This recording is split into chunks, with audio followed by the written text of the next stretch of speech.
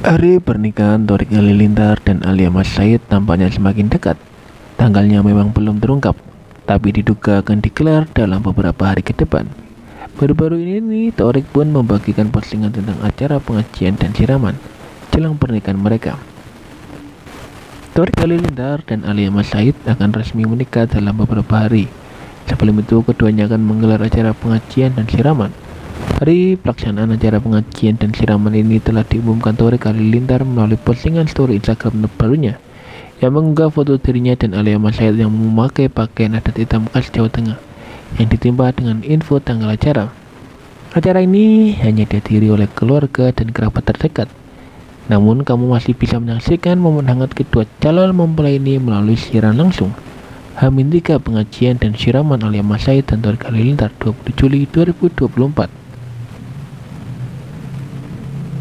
Sebelum acara pengajian dan siraman pada Sabtu 20 Juli 2024 mendatang, baru-baru ini Torik dan Alia juga telah mengunggah foto hingga video prewedding mereka.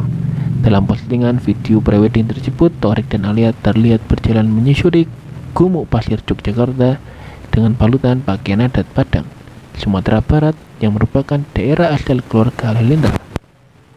Di konten prewedding lainnya, Torik dan Alia berada di kawasan Keratin Jawa dengan memakai pakaian adat serba hitam, tempat asal keluarga Alia Mas Said. Di sisi lain, sampai saat ini tanggal pernikahan Torik dan Alia belum terungkap. Namun berdasarkan celetukan ayat Torik tampaknya akan digelar dalam beberapa hari ke depan.